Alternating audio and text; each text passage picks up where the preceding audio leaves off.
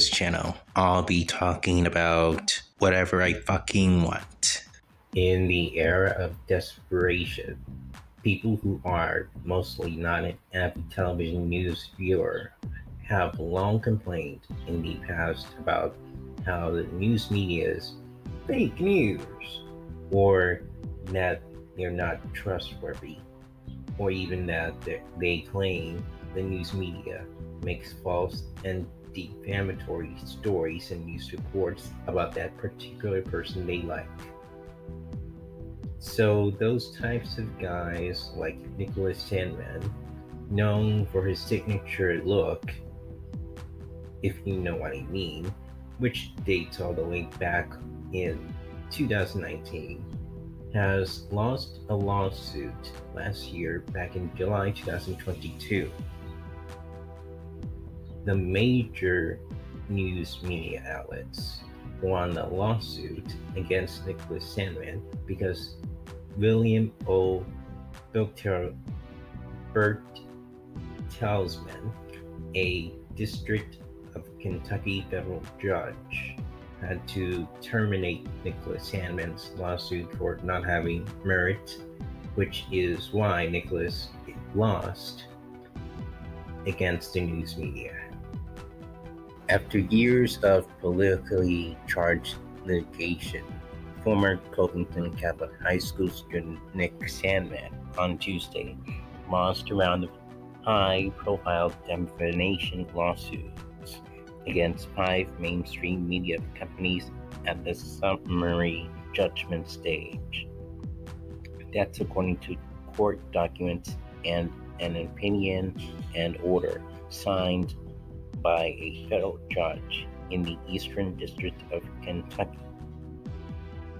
Sandmann's cases against ABC News, Rolling Stone magazine, CBS News, newspaper and television station owner Gannett, and the New York Times are now officially listed as terminated on the court record. Which, of course, in my view, is a good thing because, you know, I heavily love when uh, news media outlets get to exercise their First Amendment right to report the news and to, you know, share the stories around as to what is happening in our daily lives. And it is good to see that last year, which happened at, at the time, that the failed lawsuit would be overturned. And I hope that the same media outlets keep fighting against Nicholas Sandmann's despicable tyrant lawsuit because he himself has nothing to show for. ABC's reporting conveyed the false and defamatory charges that Nicholas stood in Phillips' way, blocked Phillips' way, and wouldn't allow Phillips to retreat, and that Nicholas wouldn't let Phillips move, while mass of, a young white boy swarmed, taunted, jeered, and physically imitated Phillips. ABC's reporting conveyed, among other things, the false and defamatory gifts that Nicholas was the base of an unruly hate mob of hundreds of white racist high school students who physically assaulted and harassed Native Americans who were engaged in peaceful demonstrations, song, and prayer at the National Mall. First of all, ABC's reporting did not convey the false and defamatory charges because it was all true. We all saw it in 2019 and the fact that the lawyers or attorneys of Nicholas Sandmann would go out their way to make this excruciatingly defamatory false claim about what ABC News did is hmm. completely reprehensible and dishonest. Because ABC News would never report false and defamatory charges about Nicholas Sandmann. All of what his attorneys or lawyers, whatever you want to call them, are trying to do is to not let this young man at the time, back in 2019, take responsibility for his own actions because he's the one that went towards the guy in the first place, or at least has walked in the middle of Nathan Phillips' way when he was in the middle of protesting. And he most definitely should not have blocked Nathan Phillips' way, knowing that there was a protest going on. That's what happened. ABC accuses Nicholas of behavior constituting menacing racial intimidation of Phillips, a Native American political activist, while Phillips was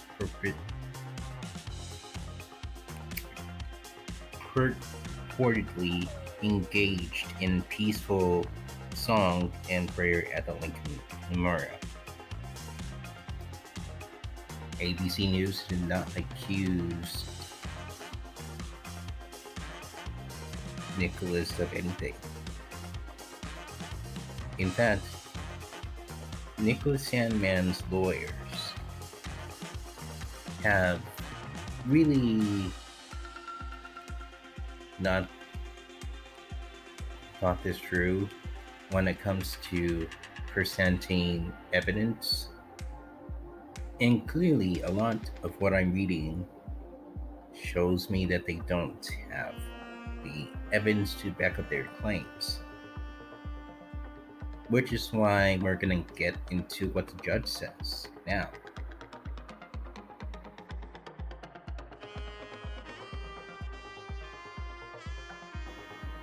Actually, I lied. There is one more to read in this article as to what his lawyers are saying. ABC's accusations against Nicholas are totally, profitably, and unequivocally false. The truth is, after the indigenous, the indigenous people's march was over, Phillips approached Nicholas and the other students from afar, bypassed wide open steps to his alleged destination of the Lincoln Memorial specifically confronted Nicholas and never intended to move past, around, or away from Nicholas, as Nicholas stood quietly for several minutes in a Make America Great Again hat, while Phillips became, beat a drum and sang loudly within inches of Nicholas's face. Nope, ABC News' accusations is not totally proverbially and unequivocally false. That's not true.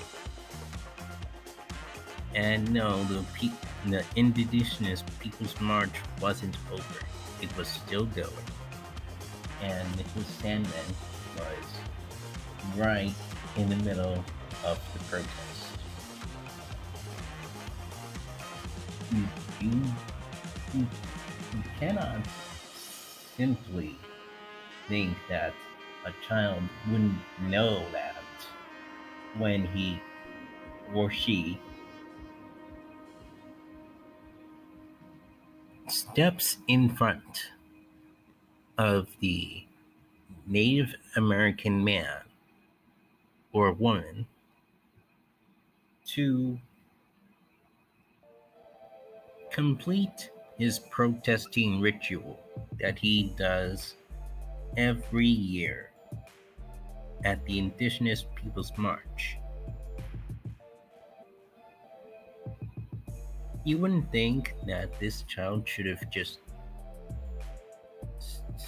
step aside and I don't know, actually move to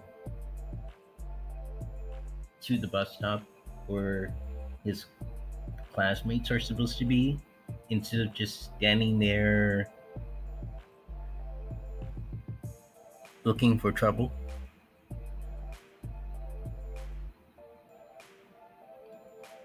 If I were Nicholas Sandmann,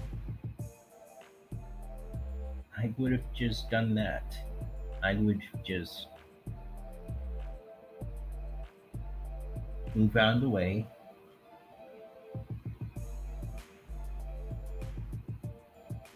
And I would just, or I would just like keep walking and head towards the bus stop and wait for the bus because that is absolutely better than having to at least stand there and see what Nathan Phillips was gonna do if he didn't attempt to move around, which is what he isn't supposed to do at an Indigenous Peoples March. You got in their way, you should be the one to move around. You shouldn't interrupt the protest.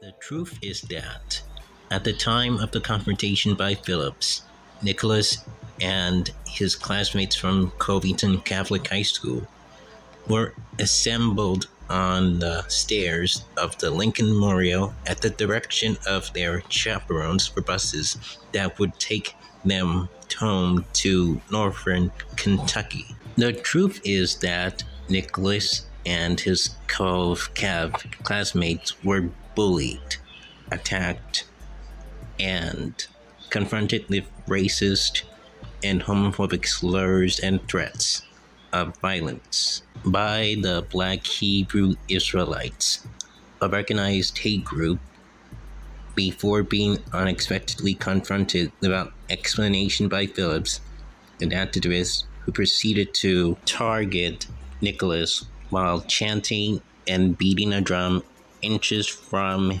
his face and being flanked by activist companions.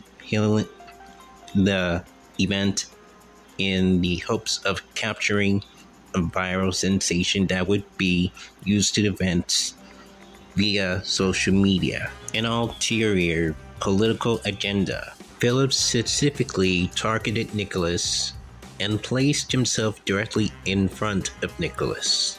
All of what Nicholas Sandmann's attorneys are saying isn't true at all because Nathan Phillips didn't came up to Nicholas Sandmann first. Nicholas Sandmann blocked Nathan Phillips' way as Nathan Phillips was in the middle of protesting. Nicholas was in Nathan's line of way to protest.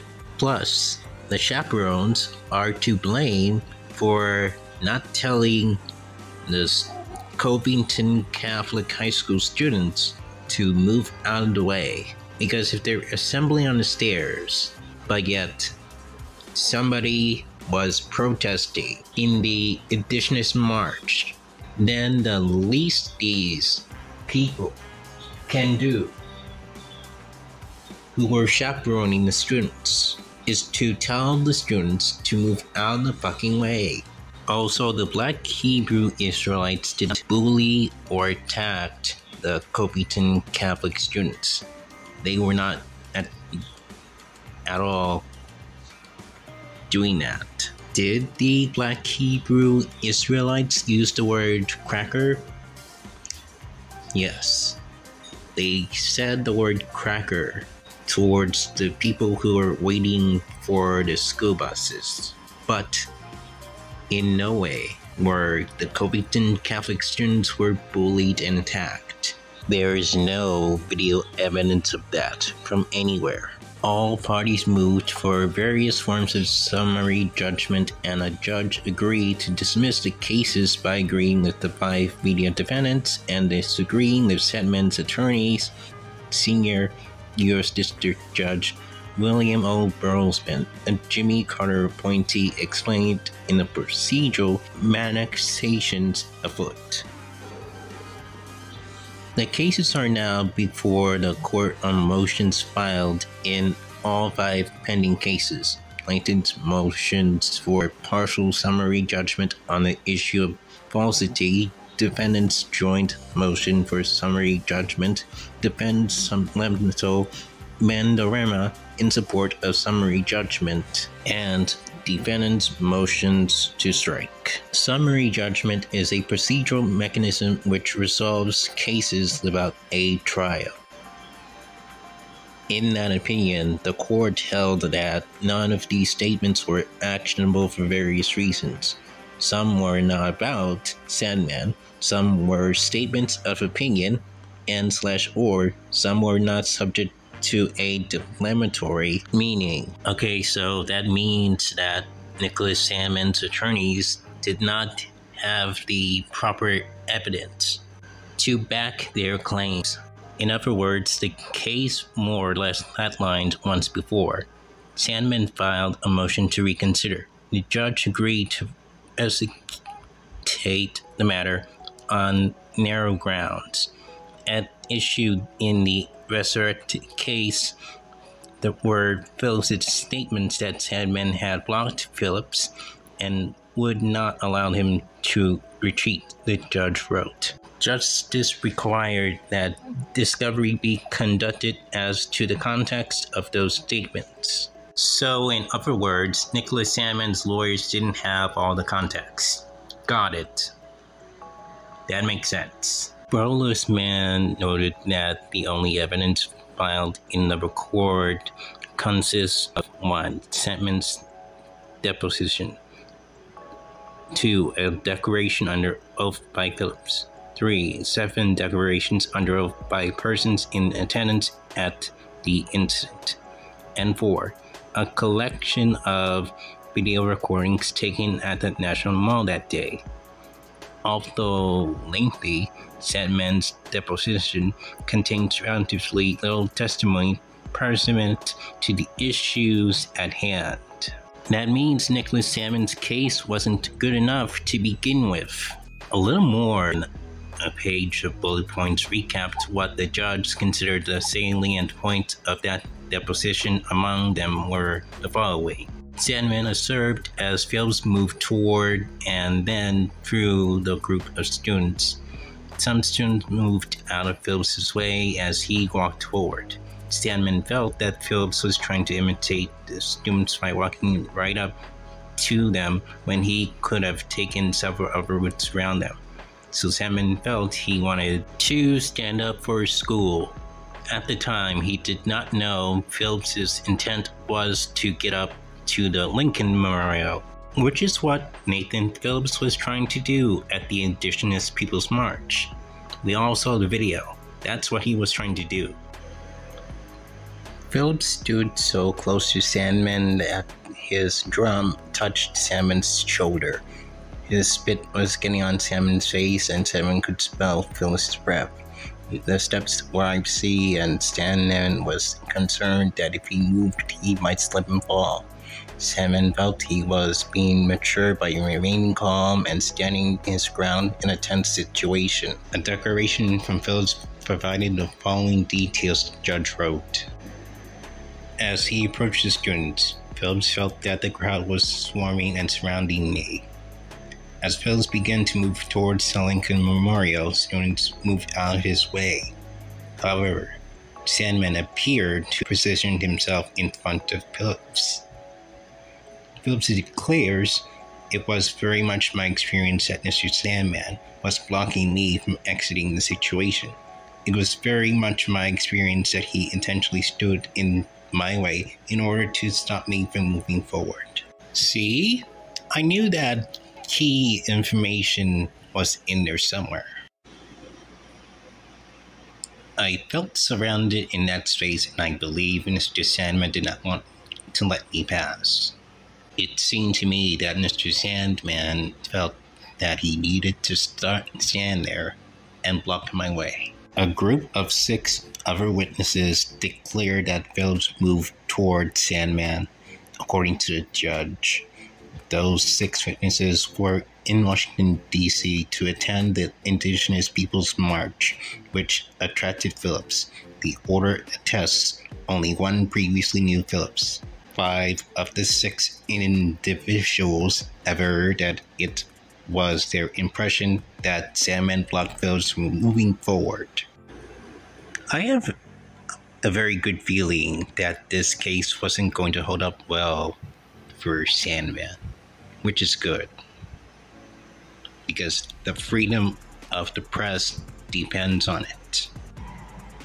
As noted above, the court expressly held that while the allegations of Sandmann's complaints passed the possibility test at the pleading stage, and that the discovery should be had on the context of Phillips's statement, the actionability of the statements would be revisited on summary judgment.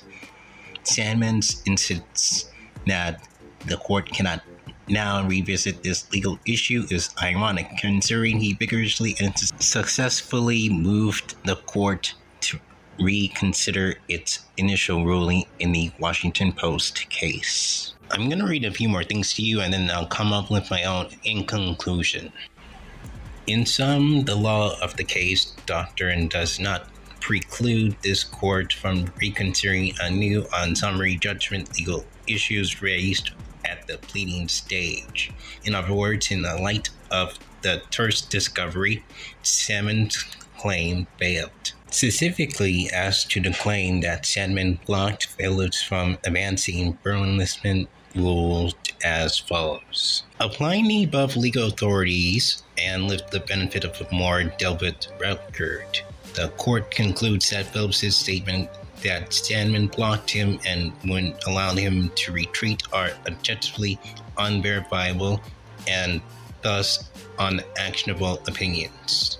Instead, a reasonable reader would understand that Phillips was simply condemning his view of the situation and because the reader knew from the articles that this encounter occurred at the foot of the Lincoln Memorial, he or she would know that confrontation occurred in an expansive area such that it would be difficult to know what might constitute blocking another person in that setting. Judge Brosman then criticized Hammond's lawyers for arguing premise that the evidence doesn't support. Interestingly, plaintiff's response memorandum to the joint motion for summary judgment argues that blocking is factual because it involves the oppositional position that of two human bodies in a confined space. But as the videos depicted, the area where this encounter occurred was a huge outdoor setting, not confined space. Later, Burleson suggested that the press did little more than to report Phillips's version of the event. Phillips's version of the events were opinions, not facts, the judge concluded. The media defendants were covering a matter of great public interest and they reported Phillips's first person view of what he experienced. This would put the reader on notice that Phillips was simply giving his perspective on the incident. Therefore, in the factual context of, the, of this case, Mrs. blocking statements are protected opinions, most rationed. This holding moots all other motions before the court. And finally, the court has reached its conclusions with the fealty to law as its primary concern of no consideration of the rancorous political debate associated with these cases. Uh, obviously, the ruling yesterday was a disappointment for my family and I. I'm appealing the decision in the Sixth Circuit. Josh Billsman revisited statement that I blocked Nathan Phillips and would not allow him to retreat. If they were factual claims, I could proceed, uh, and a jury would then decide if they were defamatory. But if they were opinions, it is speech that I cannot sue for. The judge ruled that the media companies publish opinion. The problem is, it isn't. X Y is very different from I believe X is Y. And then he gives an example, blah blah blah, who cares? And then Nicholas Sandmann says towards the end, nevertheless, I have learned how to be patient, the will to move forward.